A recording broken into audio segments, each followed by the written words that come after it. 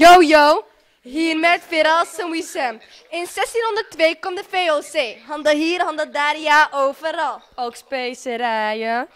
Ja, specerijen. Kaneel, muskaatnoot en kruidnagelpeper. De graaf was zo slim. Oh, zo slim. Aandelen, dat was zijn ding. De VOC was al beroemd. Vandaar dat hij in de geschiedenis werd genoemd. Dit was het voor vandaag. Hallo, ik ben Marij. Eh, wij gaan het hebben, nou ik ga het hebben nu, over Jan Jansen. Ze willen de Beemster wegpompen en dat eh, vindt hij niet zo fijn. Want hij, hij vist daar en haalt daar eh, dus zijn eten vandaan. En de rijke mensen willen, willen het wegpompen omdat ze dan geld goed, goed kunnen verdienen met het land verkopen. En dan kunnen ze investeren in de windmolens die ze daar dan gaan plaatsen. En ze krijgen dus veel geld. En dan verkopen ze het gebied met veel winst. Ja, en daar doen ze het eigenlijk. Dat was het. Dag, dames en heren. Hier achter mij zit hier de trekschuit. De trekschuit is een bootje waar mensen mee worden vervoerd. Het is net het openbaar vervoer van tegenwoordig. Het wordt getrokken door een paard. De reis duurde dan meestal heel lang. Het paard trekt de schuit langs speciale paden langs de waterwegen. De trekschuit kon per keer 30 mensen vervoeren en vaart vol- volgens een vaste dienstregeling. Ik ben Donnie en ik sta hier bij twee schilderijen. Een van deze schilderijen is een kaart. En het grappige daarvan is dat hij op zijn kop staat. Bijvoorbeeld daar is Zuid en daar is Noord. Ja, dat is normaal niet zo natuurlijk. Eh, dit, is nou, dit is een kaart van Amsterdam in 1750. Heel veel delen van Amsterdam waren er toen nog niet. Zoals Noord en Osdorp. In Amsterdam waren, eh, waren ook heel veel havens. Hierdoor werden eh, specerijen heel goed vervoerd. Die specerijen moesten natuurlijk ook ergens gelaten worden. Dat werd gedaan door pakhuizen. En Amsterdam groeide natuurlijk ook heel erg, omdat iedereen in deze grote, mooie stad wou wonen. Dames en heren, welkom bij Gouden Journaal. We gaan het vandaag hebben over eh, de handel met Polen. Dat is ontstaan omdat de Nederlanders handel gingen drijven in de Gouden met Polen. ehm, met graan, waardoor ze brood kon maken. En dat deden ze met een speciaal schip. En dat schip heet de Fluit. Ik ga het je laten zien.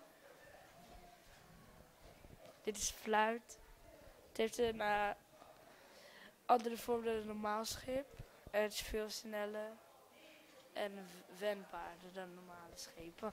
Nou, dit was het. Dit was het journaal. Terug naar de studio, Henk. Langere. Hij maakt wereldglobes, zoals je dat dit. Ziet. En hij maakt ook nog kaarten. Hij had eerst het alleen recht, dus hij maakte het alleen. Hij mocht, alleen hij mocht het maken. Maar daarna, toen de mensen eh, ook naar de rechter stapten, toen, was het, toen kreeg hij niet meer het alleen recht. Dus toen mocht iedereen het maken. Dus toen ging meneer Blauw, daar, die man daar op het foto, foto die mocht het ook maken. En meneer Van Langeren vond dat niet leuk, want hij had concurrentie. Meer mensen konden het maken, dus hij verdiende sowieso wat minder geld. En hij kreeg meer concurrentie, klaar. Ik ben Jari en we zijn vandaag in het Scheepvaartmuseum. En hier naast me zie je een boot en dit schip is een buis. En hiermee vingen ze erg veel haring. Daar zie je een net. En met dat net vingen ze alle haring.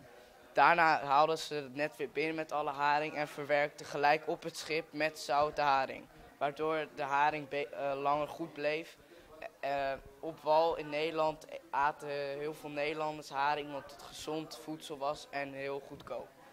En Nederlanders verkochten het dan ook heel veel door in Europa. Hier zie je hoe, dat, eh, hoe zo'n handel te werk ging. Want hier in het midden zie je een oorlogsschip en dat beschermde de vloot van, voor de haring. Hallo, ik ben Mick en ik ga vertellen over Michiel de Ruiter. Michiel de Ruiter was een grote zee- zeeheld doordat hij de zeeslagen tegen de Engelsen won. Er waren drie zeeslagen en in de tweede zeeslag was Michiel de Ruiter heel belangrijk. Hij kreeg ooit een onderscheiding van de Fransen, maar even later werd hij gedood door, ook door de Fransen. Dit is de onderscheiding.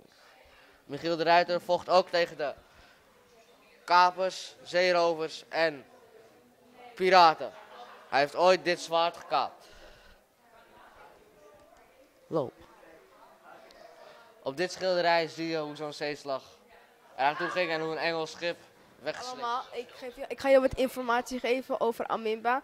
Amimba eh, is een slaaf. Ze wordt geboren in Amsterdam bij de familie Huis. Haar beide ouders zijn, eh, eh, zijn slaaf, maar in Nederland zijn, sla in Nederland zijn slaven verboden. En Dat, dat, dat weet Amimba niet. En, maar, op een, op, maar op een dag, op een gegeven moment in de winter, moest ze terug naar Suriname. Want in de winter zijn slaven niks waard, want ze worden ziek en soms gaan ze dood. Eh, ze moest terug naar Suriname om op de plantage te werken. En dat is erg zwaar, want van ochtends vroeg tot avonds laat in de brandende zon werken. Ja, dat was het. Ik ben, ik ben verslaggever Hamza. En eh, ik ben hier bij het kajuit van Martin Lop. Martin Lop begon als constapelmaatje op een VOC-schip. Een constapelmaatje is een assistent van een regelaar die voor, voor op schepen vuurwapens regelt en kanonnen. Eh, Martin Lop klom steeds hoger op totdat hij een kapitein werd. En dat deed hij in vijf reizen. Als jullie komen, dan zien jullie hier het schip waarop Martin Lop eh, eh, kapitein was.